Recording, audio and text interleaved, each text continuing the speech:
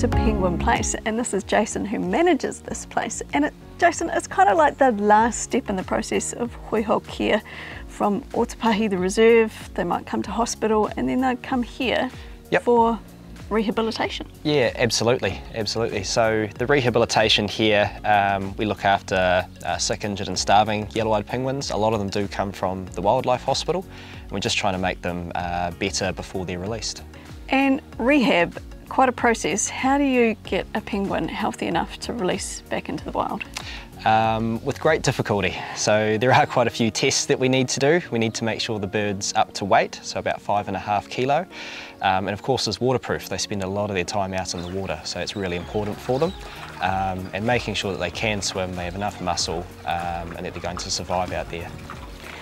So, a patient here, about how long would they need to be rehabbed? So our average stay is about two weeks. Um, these guys don't like captivity, and so we do try to get them out as quickly as we can. Yeah, that makes sense. And we've got a little female hoiho just over here. Tell Yeah, us we about do. her. So she came into us about a week and a half ago. Um, she was quite underweight at 4.2 kilo. Um, so we've been feeding her up slowly and she's actually made a full recovery. Um, she's about five and a half kilos, so set to be released any day now. Yeah, very exciting. Yeah, and quite the challenge looking after chicks, juveniles, adults, the whole whole lot. Mm. Lots of care required.